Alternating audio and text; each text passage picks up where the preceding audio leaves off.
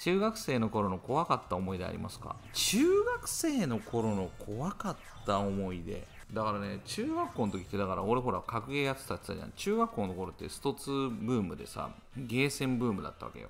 そうめっちゃだからゲーセン行っててさそうしょっちゅうそのゲーセンで喧嘩になってたわけ。もう本当に。そうちょっとあなんかもうやっぱもうローカルルールもいろいろありすぎてさゲーセンごとにいろんなさルールがあってでなんかもうそれがうん。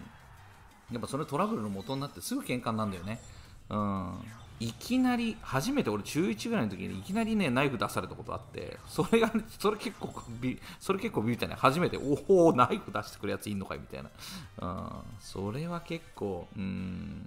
そうね。灰皿飛んでくるとかあの台を押されて押されてくるとかもうそんなのいっぱいあってもそれは別に普通の喧嘩したんだけどうん。ナイフ出されるのはね結構ね初体験だった時はビビってたね。もうなな後の方で慣れっこになってくるんだけど。そう。